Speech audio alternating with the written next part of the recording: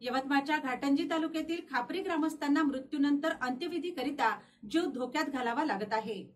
गाव आणि स्मशानभूमी दरम्यान वाघाडी नदीचे खोल पात्र असून त्यावर पूल नसल्याने ग्रामस्थांना तारेवरची कसरत करून अंत्ययात्रा काढावी लागते. घाटंजी शहराला पाणी पुरवठा याच नदीवरून केला जातो. त्यामुळे या नदीवर बाण टाकून पाणी अडवले जाते. असे असतानाही नदीवर पूल निर्माण करण्यात आलेला नाही. गेल्या अनेक वर्षांपासून ग्रामस्थांची पुलाच्या बांधकामाची मागणी आहे. मात्र येथील लोकप्रतिनिधींनी कायम दुर्लक्ष केल्याने ग्रामस्थांना त्रास सहन करावा लागत आहे. पावसाळ्यात तर ग्रामस्थांना मृताच्या कुटुंबीय व आपतेष्टांना अंत्यविधीसाठी तासन तास पाणी ओसरण्याची वाट बघावी लागते. शिवाय नदी पलीकडे संगमेश्वर देवस्थान आहे जेथे वाघाडी आणि वानरी नदीचा संगम होतो.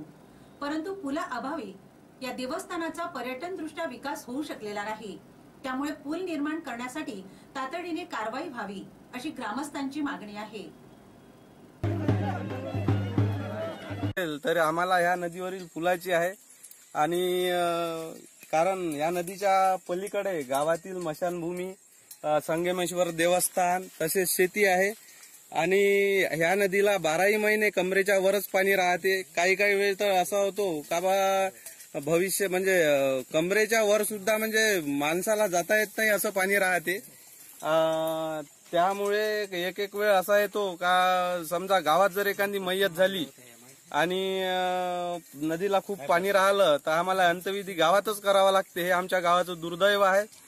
आणि आजपर्यंत जेवढे लोकप्रतिनिधी झाले सरपंच झाले एकाही सरपंचानं ह्या ह्या समस्येची दखल शासनाकडे दिलेली नाही.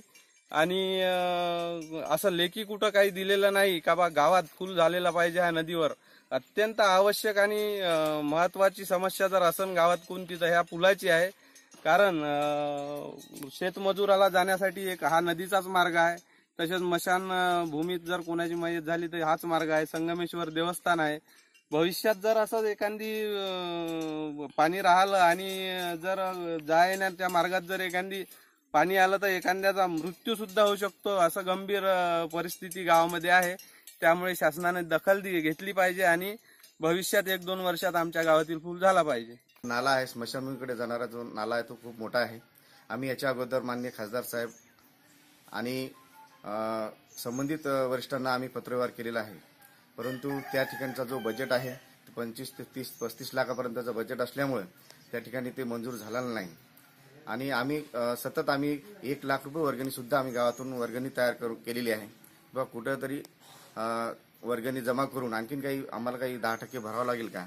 यासाठी आम्ही वर्गणी सुद्धा एक दीड लाख रुपये वर्गणी केलेली आहे.